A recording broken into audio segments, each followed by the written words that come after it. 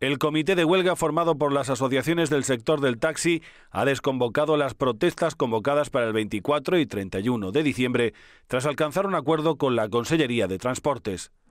La Confederación se ha reunido con Rebeca Torró, consellera de Transportes, con la que ha llegado al acuerdo de plasmar una subida de tarifas en las áreas de prestación, que se publique en enero o febrero de 2023. En concreto, se trata de una subida de un 7,17% en Valencia, un 7,76% en Castellón y un 8% en Alicante.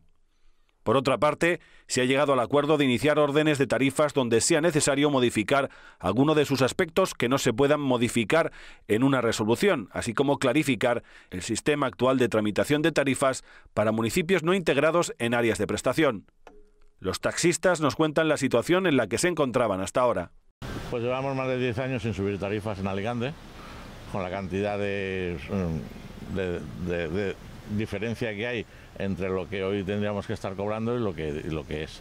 Todo este año se ha pedido una subida, porque se hizo una subida de un 2% lineal en el mes de junio-julio, y este año la Generalitat no pretendía subirnos ya nada.